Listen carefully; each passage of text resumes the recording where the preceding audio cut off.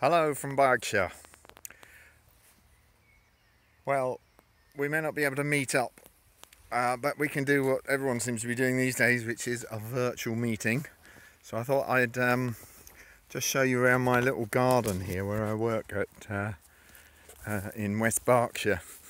I call it my garden. I shouldn't do that really because um, it's uh, part of a supported living accommodation. Uh, so um, we try to um, provide interest in the garden and make the garden useful uh, to produce things that the, the guys who live here are, are interested in. So um, we do vegetables. Uh, actually, if I just, I'll try and show you around. This is going to be quite difficult because, uh, let's see.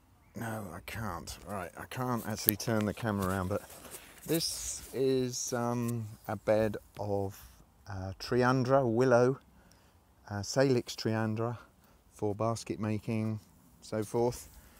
Um, in amongst it, we've got some comfrey plants. These were actually the spare plants because over here last year I rotivated a bed and you can see what's happened. The grass has just absolutely taken off and I didn't get a chance to, uh, uh, you know, do the amount of hoeing and weeding that I should have done. In between them we've got uh, the Jerusalem artichokes. So these are basically, everything in this bed is going to be like perennial crops. Um, these are this year's sowings of uh, globe artichokes. I've got two beds here which have just been digging over this spring for um, asparagus. Yes, couldn't think of the name. Asparagus which we have grown here from seed. So all this lot is perennials, and uh, the, this is my uh, this is where we're going beans. Um, we this this is a bit of a laugh. This is our broad beans here. We've got two plants left.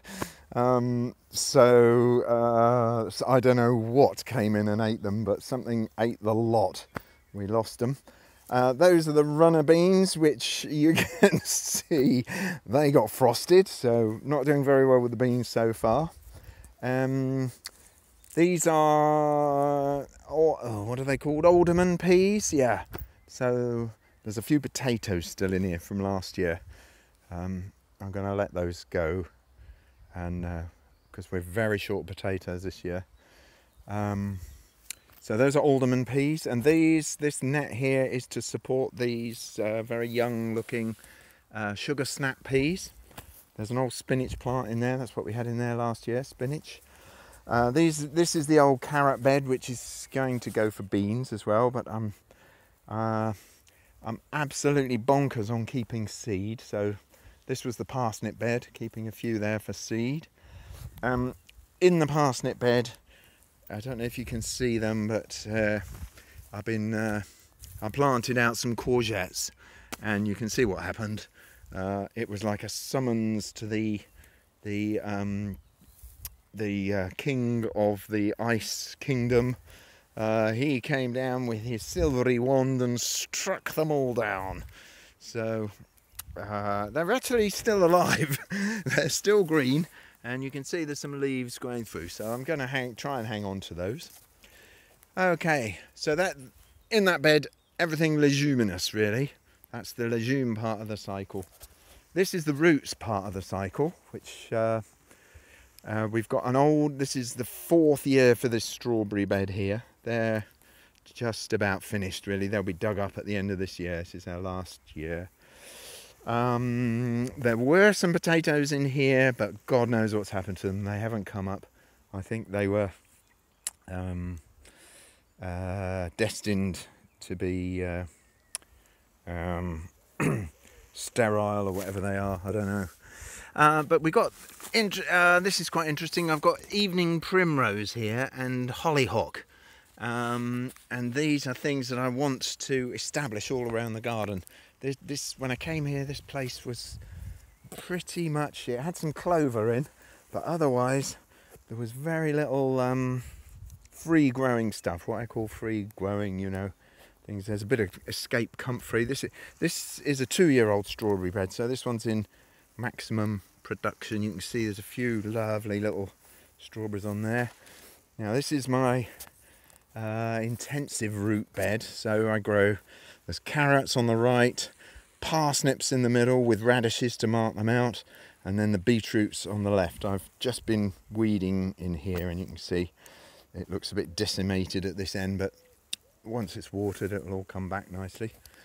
Uh, this is our major potato bed, um, which you can see had a major attack of the frost, uh, but it's coming back again. There's a few more potatoes up at the end there.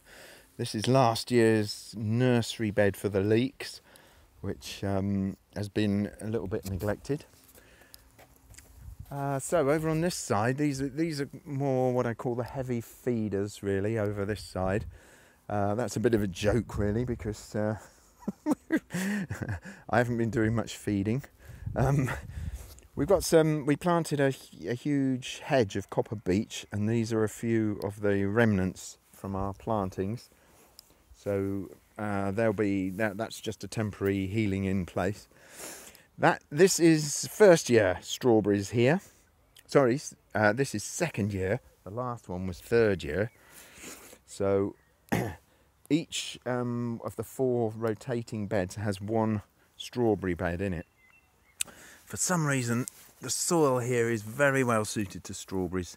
Uh, we don't seem to get much mould. Uh, we have to net it to keep the birds off. Um, but the strawberries grow like crazy. Uh, I think the soil's slightly acidic here. As you can see, we're surrounded by woodland, which is just fantastic. Um, I know all the uh, the woodland microorganisms drifting across or something, but the strawberries feel very much at home here. Uh, so no digging. Um, well, we had such a wet winter and spring.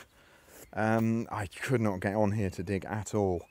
Uh, it was just impossible. So I've ended up having to mulch. Uh, you can see there's weeds coming up through the mulch, but um, I figure that's better than doing nothing at all and letting the uh, the weeds just take over. Uh, this is the garlic bed. So we've got two kinds of garlic. We've got the normal kind of French, or well, perhaps we should say Chinese supermarket garlic up this end. And then this is elephant garlic here. Um, it must be getting pretty close to being ready. Uh, this is an empty bed at the moment. We had, um, I think, endives in here last year. Uh, again, it's not been dug, but I'm just starting to put some herbs in here. I'll put some parsley in as well. Um, so we got uh, some flowers here. I like to have as many flowers as possible. Last year's spinach, which is going to seed, looks a bit um, miserable. It was a bit miserable because um, I didn't get around to thinning it, and uh, it grew uh, very um, tightly packed. And it's been okay in the spring. This spring, it's not been too bad because I have eventually managed to thin it out. So this is um, another strawberry bed. Say we have, uh, but I'm. This is an experiment this year. I'm into planting, uh, simply because I hadn't got enough dug space.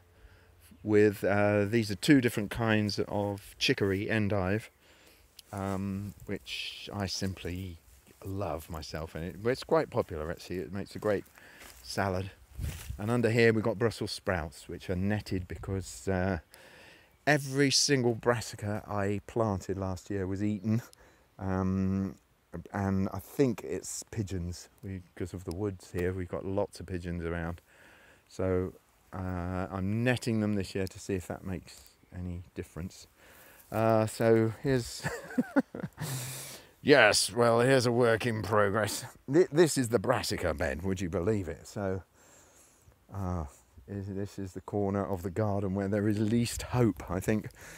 But um, again, these because of the hard uh, waterlogged ground, I just gave just decided I'm going to mulch with cardboard, whatever I can find. Um, we've got some old straw here, and and this bed here. This is what happened